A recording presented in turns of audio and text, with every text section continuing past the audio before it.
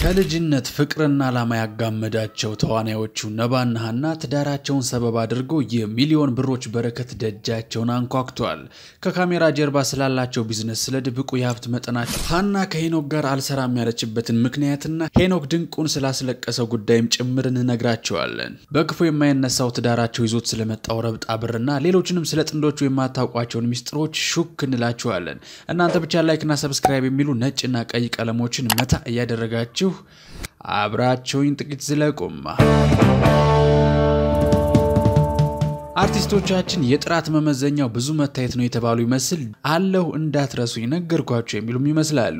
ታዲያ እዩኝ እዩኝ ማለት የማትወደው ይህች አርቲስት ከሰሞኑን ሚዛን ከሚደፋ ርዕስ ጋር ብቅ ብላለች። በአዲስ አበባ ዩኒቨርሲቲ ቲያትር ጥበባትን ያጠናችውና በድርሳነ ቤል ፊልም ሀ በማለት አስር ፊልሞች ላይ በመሪ ተዋናይነት የተሳተፈችው ሀና ተፈጣሪዝምና ዘመን ድራማን ጨምሮ የሙዚቃ ክሊፖች ላይም ተሳትፋለች። አንድ ሰሞን መስመር የሳቱ ሴቶቻችንን የረሱ ቪዲዮዎቹን ይዘው ብቅ ላሉ የሙዚቃ ክሊፖች እስቲ እሷ የሰራችበትን ተመልከቱ ተብሎ በምሳሌነት የምትጠቀስ የጨዋነት ምሳሌ የሆነችው ሀና በሌላ የስኬት ጉዞ ጥርጊያውን ይዛ ብቅ ብላለች። ነገርየው ብዙ አርቲስቶች የሚቋምጡለት የብራንድ አምባሳደርነት ስራ ነው። በቅርቡ ሃናን ታሪክ በ10 ሚሊዮን ብር ከአንድ ድርጅት ጋር እንደተፈራረመች ነግረናችሁ ነበር። ታዲያ ሀናም ስለ ክፍያው ስትጠየቅ ትንሽ ቅር ያላት ትመስላለች። ይሁንና ይህ ጉዳይ ከተረጋጋው ትዳሯ ጋርም በቀጥታ ይገናኛል። ከባድ ነው ስትል የገለጸችው ይህ ስምምነት ከትዳሯ ጋር ምን እንደሚያገናኘው አጣርተናል። የተረጋጋውን ህይወቷን መሰረቶችና ቁልፍ ሚስጥሮችም በሚስጥር እንነግራችኋለን። ሀና መርሃጽድቅ ኤኤምኤን የተባለ አስመጭና ላኪ ድርጅት ነው። brand አምባሳደሬ አንቺ ሁኚ ብሎ የመረጣት የገንዘቡ ነገር ምራቅ ያስውጣል። በኢትዮጵያ ፊልም ኢንዱስትሪ በመልካም የምትነሳ ወጣት ከዚህ ትልቅ ድርጅት ጋር ለመስራት ያገኘችው እድል ከፍተኛ ደስታ እንደፈጠረባት በመጥቀስ ከባድና ልዩም ነው ብላለች። ታዲያ ብዙ አርቲስቶች የሚፈራረሙት ይህ አይነት ውል በእሷ አልተጀመረ። ነገሩ ምኑ ከበዳት? ከሌላው አምባሳደርነት ምን ለየውና ልዩ ነው አለችው። በ promotion ዘርፍ የአልሳም real estate ና የሳምሰንግ international brand አምባሳደር የሆነችው አርቲስቷ ድርጅቶችን ወክላ ወደፊት ለፊት መውጣት የዕለት ተዕለት ስራዋ ነው እና አዲሱ አይደለም። ለጋና ልባም ስትል በሰል ባለ አገላለጽ የተናገረችለት ድርጅቱ ገና በመፈራረሚያ ቀን ስራዋን ጀምራ አምባሳደር ሆነዋለች። በዚህ ልክ ለገለጸችው ድርጅት አምባሳደር መሆኑ ምኑ ከበደች ተብላ ለተጠየቀችው ጥያቄ ድርጅቱ የሚፈልገውን ነገር ሆኖ መገኘት በጣም ከባድ ነው በሚል መልሷ ውስጥ ፍንትው ብሎ የሚታየው ለስራዋ ያላት መጨነቅና ክብር ነው። ልዩ ነው የማለቷን ነገር ስታብራራው ከፊት ለፊትም ከካሜራ ጀርባም እኛው ነን ብላለች። ሳቄቷ ሀና እናንተው እነማን ናችሁ የሚል አይጠፋም። ባልና ሚስት ሀናና ነባ ናቸዋ። ሚስቱ brand አምባሳደር ለሆነችለት ድርጅት ፎቶና ቪዲዮ ደግሞ ባለቤቷ ነው የሚሰራው። ስራው ደራ ማለትም አይደል እንዴት ካላችሁ የእሷና የባሏ በሆነው ክላፐር ፊልም ፕሮዳክሽን በተባለው production ማስታወቂያዎቹ እንደሚሰሩና የራሳችን አሻራ ለማሳረፍ የሚያግዝ እድል ነው ስትል ገልጸዋለች። አርቲስቷ እኛ እንደ ድርጅት የያዝነው ዓላማ ትላለች። የእሷና የባሏን ማለቷ ነው። እኛ እንደ ድርጅት የያዝነው ዓላማ አለ በማለት ከባሏ ጋር የገነቡትን ራዕይ በደስታ ስትናገር ጤነኛው ትዳሯና የተረጋጋ ሕይወቷ ለስኬቷ ቁልፍ እንደሆነ ያሳብቃል። አንዳንድ አርቲስቶቻችን መፋታትን እንደ ፋሽን መከተል በጀመሩበት በዚህ ጊዜ ሀናና ነባ ከአስር ዓመት በላይ በፍቅር በመዝለቅ አርቲስቶችም ሸጋ ትዳር እንደሚዋጣላቸው አስመስክረዋል። ከባል ባሻገር አድናቂዋ ነኝ የሚለው ነባ እንድሪስ ለስራዋ ትልቅ ተነሳሽነትና ቁርጠኝነት አላት። ኤኤምኤን እንደሚያመሰግናት እርግጠኛ ነኝ ሲል በልበ ሙሉነት የሚመሰክርላት ነባ እኔም በምችለው ሁሉ አግዛታለሁ በማለት ከጎኗ መሆኑን በፍጹም ጨዋነትና መልካም ባል በመሆን ውስጥ በሚገኝ ትህትናና ፍቅር ይገልጻል። የጥንዶቹ ጉዳይ ጥንስሱ ወደ ኋላ ይወስደናል። ከሃይ ስኩል ማለትም ነባ የ11ኛ ሀና ደግሞ የአስረኛ ክፍል ተማሪዎች ሳሉ የጀመረ ጓደኝነት ነው።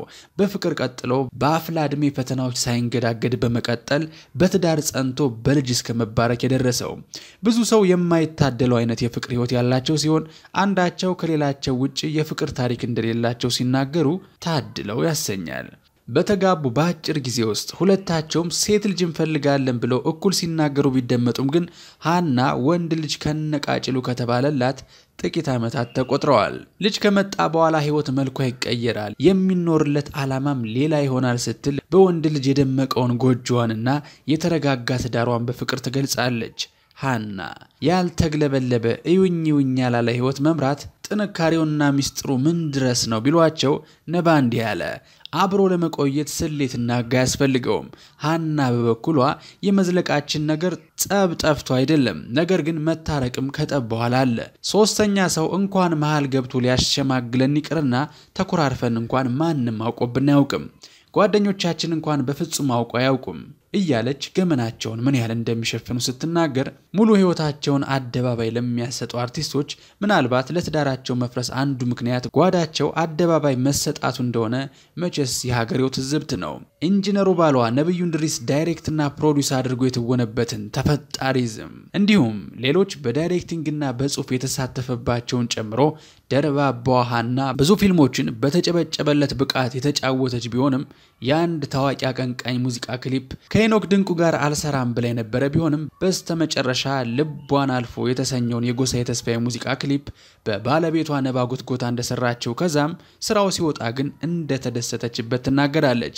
ታዲያ ይሄ ሙዚቃ ለሄኖክም ሆነ ለሃና ጥሩ ፍቅርን ያስቸራቸው ስራ ሆኖላቸዋል። በዚሁ ስሙን ካነሳው አይቀር ሄኖክ ድንቁን ስላስለቀሰውና እህቱን ስላስታወሰ ጉዳይ ላጫውታችሁ። ከዓመት በፊት ትልቅ እህቱን በሞት ያጣው ሄኖክ ዛሬ በእህቱ ቦታ ሌላ ታማሚ ተኝቶ ሲመለከት እንባውን መቆጣጠር አልቻለም።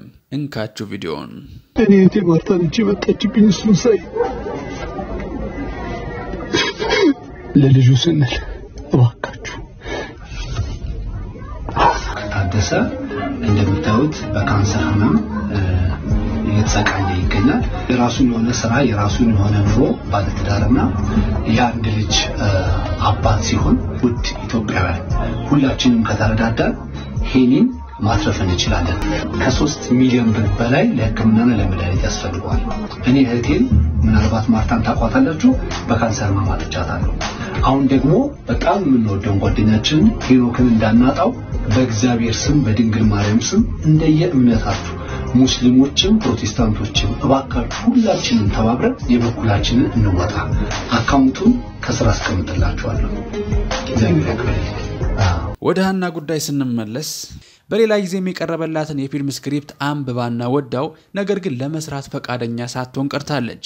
የወደደችውን script ምን ነው ገፋሽ በደህና ነው ወይ ብትባል ከልክ በላይ የተጋነነ የመሳሳም ትዕይንት ስላለው መስራት አልፈለግኩም በማለት እሷ በማትሳተፍባቸው እንዲህ ያሉ ትዕይንቶች እንደ ኢትዮጵያዊ የሚመጥን አይደለም በማለት ብዙዎችን ከተኙበት የሚቀሰቅስ ሀሳቧን አጋርታለች። ከትወናው ፈቀቅ በማለት በጽሁፍና በ directing መቀጠል የምትፈልገው ሃና ለሀገሯ ፊልም ያላትን ክብርና ከባህልና ከእሴቷ ጋር አስታርቆ የመስራት ብስለቷን ያሳያል። ይህን ብስለቷን ያመጣው ከልጅነት ውስጡ አድጎ ፈልጋ የሰራችውና በትምህርት ያጠነከረችው ሙያ ውስጥ ሆኖ ሳይሆን አይቀርም። ነገር ዓለሙ ሳይገባቸው እድሉን ስላገኙ ብቻ በየቦታው ገብተው ለሚባክኑ ትልቅ ደወልም ትምህርትም ነው። interior design ወይም የቤት ውስጥ ዲዛይን የሚስባት ሃና ብቻዬን ሰውን ቤቴን አየዋለሁ፣ እቃዎቼን ቦታ ቀያይራለሁ ስትል ዘመንን ለሚሉ ጥፍራቸው እንዳይበላሽ ተንከርፍፎ ለሚቀመጡ አንዳንድ ምስኪኔቶች ነገሩ አልገባሽም፣ ጥቃቅን ነገር ትዳርሽን ይገነባዋል ታለም እየነቃሽ የሚል መልእክት ቢጤም አለው።